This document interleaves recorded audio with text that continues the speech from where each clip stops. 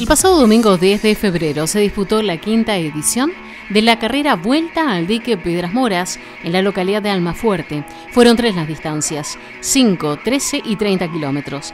Resultó así una carrera de aventura bajo la modalidad individual, dando la vuelta al dique por tramos fuera de ruta, con todo tipo de obstáculos naturales para los participantes, como ser barro, agua, arena, pastizales, sectores con piedras y arena, terreno desparejo, senderos, cortes, zanjas y grietas.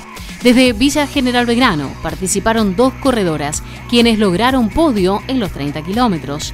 Belén Barrera se impuso en su categoría y también finalizó segunda en la general, mientras que Virginia Zimmerman logró el primer puesto en su categoría.